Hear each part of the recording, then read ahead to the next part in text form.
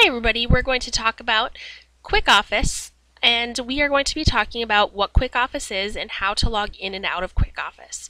Quick Office is an app that lets you edit Microsoft Office files such as PowerPoint, Excel, Microsoft Word, because as most of you know, iPads don't have any Microsoft Office documents on them and we can't edit them from an, from an iPad. So what QuickOffice does is it connects to your Google Drive and it lets you edit those documents that you've created either on the computer or on a different device and so then now you can open it up on your iPad and you can edit your documents.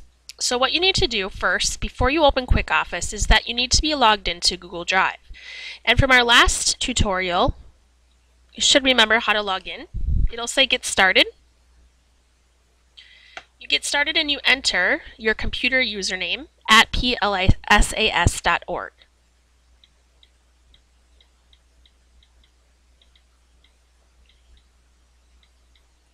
Then remember you enter your computer password.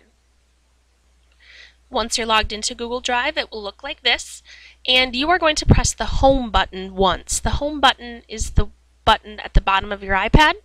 You're going to press that once and then you are already logged into Google Drive, so that's good.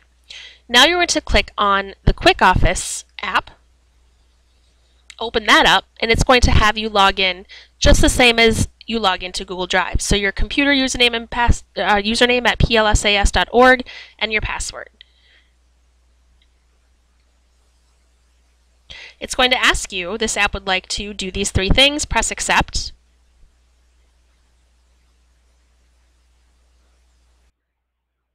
Quick Office looks a little bit different than Drive when you first start.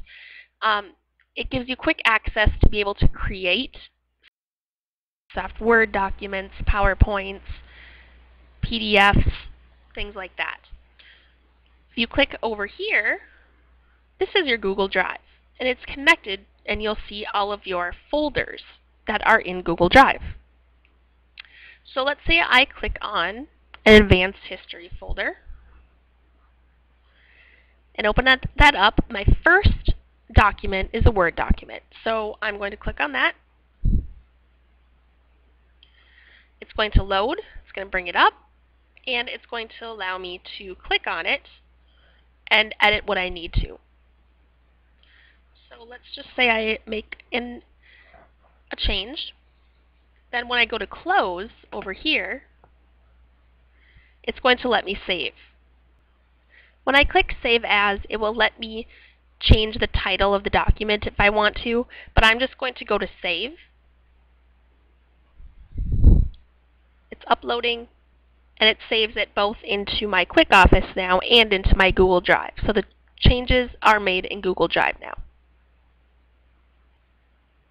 Now when you're finished saving, to log out of Quick Office looks a little bit different. Um, so we're going to go down to the Edit button right here.